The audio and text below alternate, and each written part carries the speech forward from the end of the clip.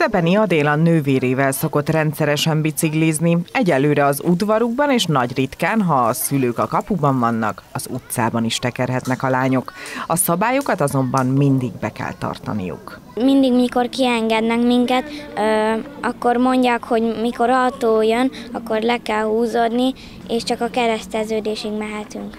Mint ezt a Fehérvári rendőrség közlekedési szakembere mondja, ennek a játékos versenynek pont az a lényege, hogy a gyerekek maga biztos kerékpáros tudást szerezzenek, ami elengedhetetlen ahhoz, hogy biztonságosan közlekedjenek az utakon. Ellenőrzött keretek között ki tudják próbálni azt, hogy mennyire képesek uralni a kerékpárt, hogy a mindennapi életben, ha mégis úgy döntenek, hogy egyedül indulnak el, mik azok a hiányosságok, amiket fejleszteni kell, illetve mik azok, amiket oda kell figyelni a kerékpár sajátosságainál, és ezért is van olyan pálya összeállítva, ami a mindennapi közlekedésben előfordulhat. A rendőrség nem csak ügyességi feladatokat hoz rendszeresen a táborozó gyerekeknek, kézműves foglalkozáson is részt vehetnek a kicsik, és játékos feladatokkal is készülnek nekik. Balesetmegelősi tesztlapokkal készülnek, illetve bármilyen hozzájuk forduló gyereknek nagyon szívesen segítenek, ha ilyen jellegű problémájuk van, és